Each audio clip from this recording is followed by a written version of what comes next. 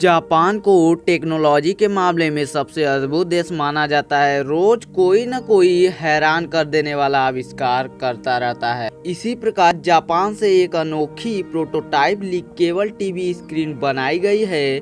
जो कि जीप से चाटने योग्य है। यह स्क्रीन खाने की स्वाद की नकल करता है। इस टीवी स्क्रीन के बारे में एक वीडियो में दिखाया गया है कि इसमें 10 स्वाद वाले डिब्बे होते हैं, जिसमें लिक्विड भरा होता है। यही लिक्विड एक विशेष भोजन का स्वाद बनाने में काम आता है। इसके बाद खाने को टेस्ट प्लेट में टीवी स्क्रीन पर रोल करके रखा जाता है, जिससे कोई भी व्यक्ति अपने जीप से चाट कर उसका स्वाद चख सकता है। मिजी यूनिवर्सिटी के प्रोफेसर होमी मियास्ती ने इस टीवी को विकसित किया है और उन्होंने इस टीवी के स्क्रीन का नाम टेस्ट द टीवी रखा है और इस मशीन को बनाने में उनके 30 स्टूडेंट की टीम मिलके अलग अलग छात्र अलग अलग स्वाद की मशीन को बनाकर एक में शामिल कर दिया है।